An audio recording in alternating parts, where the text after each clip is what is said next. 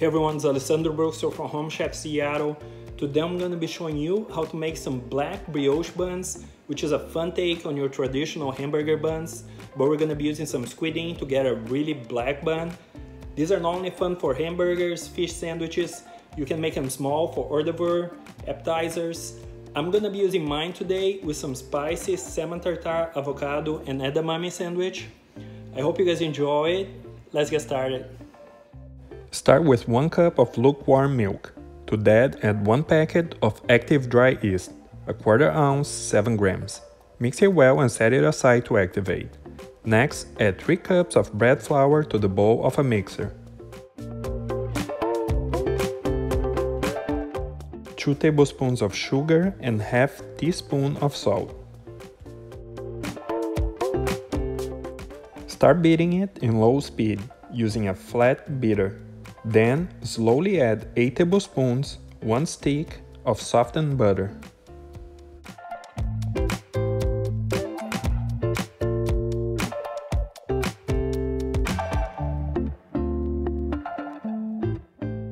Let it beat to form a crumble. Next, we'll beat 3 whole eggs with the squid ink.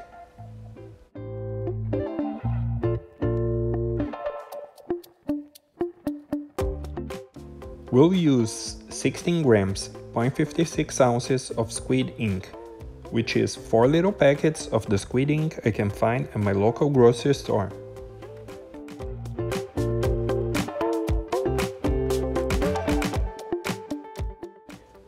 Beat it well with the eggs to incorporate and then add it to the flour.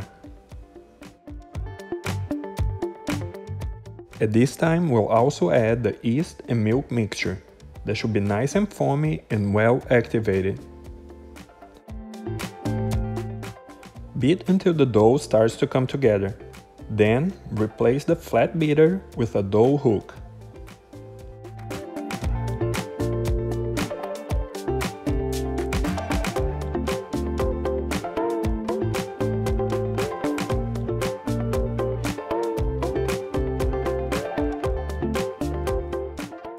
Beat on medium medium high speed for about 10 minutes.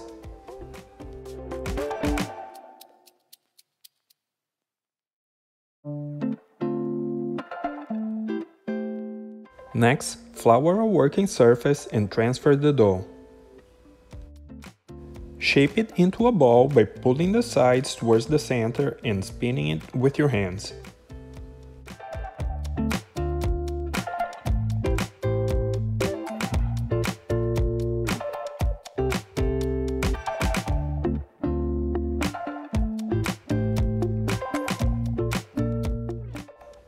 Coat a large bowl and the dough with some oil.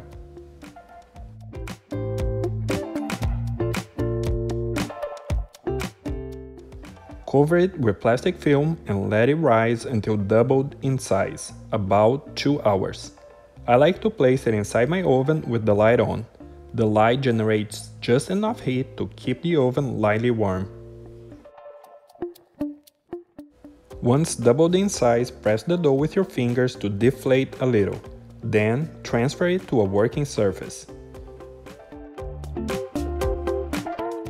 Shape the dough into a log and divide in 10 equal pieces. This will give you 10 regular size burger buns. You can also go bigger or smaller depending on the size you wish to make.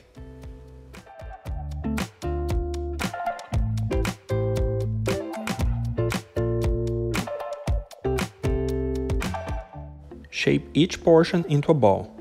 You can do this by pulling the sides and tucking them in the center, and then spinning the ball with both hands while pressing it on the bottom.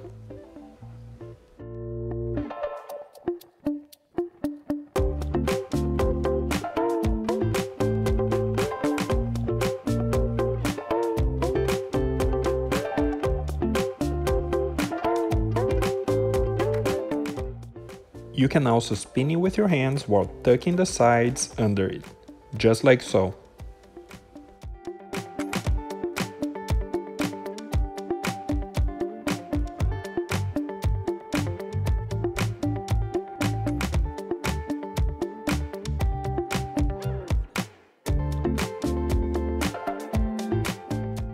Place the buns on baking sheets lined with parchment paper, leaving enough room between to allow them to double in size. Lightly cover them with plastic film and let the buns rise for 1 hour.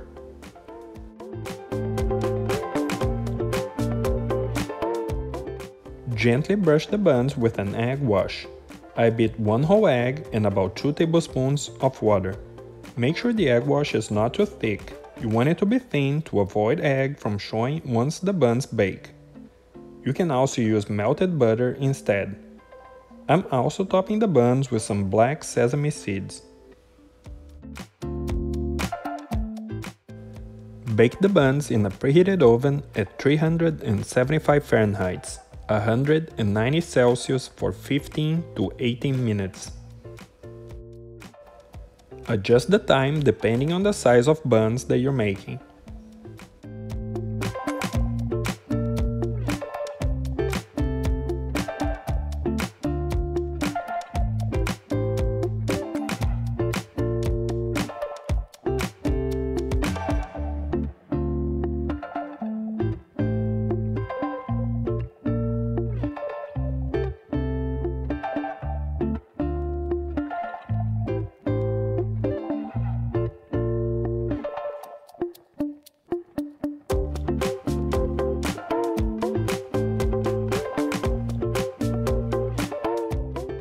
Remove the buns from the oven and transfer to a wire rack to cool down. If you're not using the sesame seeds, you can also brush the buns with some melted butter once they come out from the oven. And the black brioche buns are ready. If you have enjoyed the video, this is a good time to press the like button below.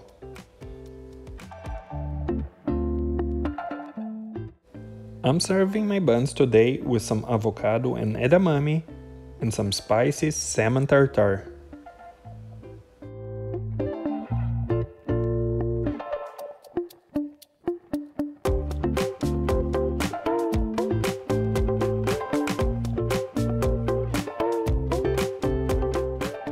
I hope you have enjoyed the video, please subscribe to the channel, leave a comment and press the like button below. Thank you for watching.